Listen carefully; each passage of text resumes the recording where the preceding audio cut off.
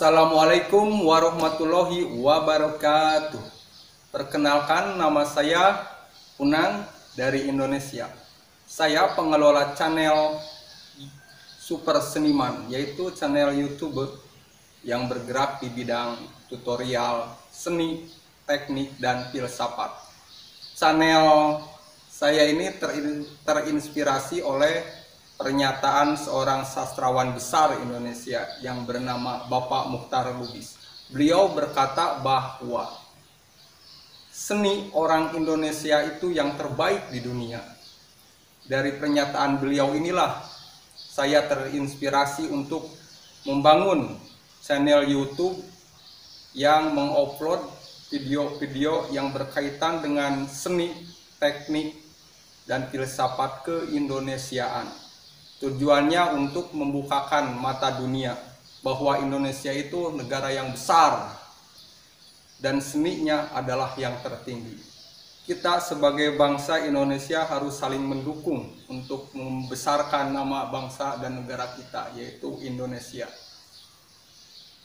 Mari kita bersama-sama memulai kreativitas dan produktivitas kerja Indonesia dengan terlebih dahulu berdoa kepada Allah Subhanahu wa taala. Bismillahirrahmanirrahim. Sekarang pertanyaannya, mengapa channel saya bernama Super Seniman Indonesia? Seolah-olah ini mengandung arogansi atau keangkuhan. Mohon maaf sebelumnya para sahabat semua akan saya jelaskan begini ya. Ini kata super seniman itu tidak dimaksudkan untuk mengunggulkan kemampuan saya pribadi, tetapi yang saya maksud dengan super seniman di sini adalah seperti yang Bapak Mukhtar Lubis katakan bahwa seni orang Indonesia itu yang tertinggi di dunia. Nah, praktis para pelaku seninya disebut dengan super seniman. Semua itu saja. Jadi yang saya maksud super seniman di sini adalah para seniman besar Indonesia dari masa lalu dan pada zaman kita sekarang ini. Jadi ini bukan sebentuk kaufinisme atau kebanggaan buta terhadap suku bangsa, tidak. Toh pada kenyataannya sebelum saya lahir seni, teknik, dan filsafat itu sudah ada. Saya lahir ke dunia ini tidak membawa apa-apa.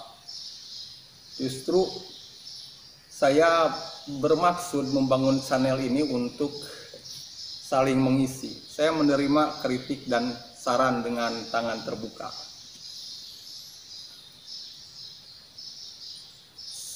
Selanjutnya, saya akan mengungkapkan pendapat saya tentang tutorial seni teknik dan filsafat. Tutorial yang dimaksud di sini adalah panduan. Jadi saya akan menyampaikan apa yang saya ketahui dari para super seniman Indonesia di masa lalu dan masa sekarang. Dalam bidang seni, teknik, dan filsafat. Yang dimaksud dengan seni, sependek yang saya tahu, seni itu adalah kemampuan luar biasa manusia untuk menghasilkan karya seni yang baik, halus, dan istimewa. Lagi eksklusif ya ada duanya. Kemudian yang dimaksud dengan teknik itu cara untuk mengerjakan pekerjaan yang besar dengan mudah cepat, dan akurat. Selanjutnya, yang dimaksud dengan filsafat, filsafat itu semacam metode untuk menemukan kebenaran atas segala yang ada di dunia ini. Tetapi yang saya hendak tunjukkan dalam channel Super Seniman Indonesia ini adalah filsafat praktis, bukan yang bersifat teoritis. Lebih cenderung kepada praktisnya seperti itu. Demikianlah teman-teman. Semoga dengan penjelasan saya ini teman-teman dapat memahami bahwa super seniman di sini adalah umumnya orang-orang Indonesia yang telah berkarya untuk negara dan bangsa Indonesia dengan karya yang spektakuler. Banyak sekali para super seniman Indonesia dari masa lampau hingga masa zaman sekarang ini. Saya rasa para sahabat semua sudah mengetahui satu atau banyak dari tokoh-tokoh besar super seniman Indonesia. Demikian teman-teman perkenalan kita pada saat ini.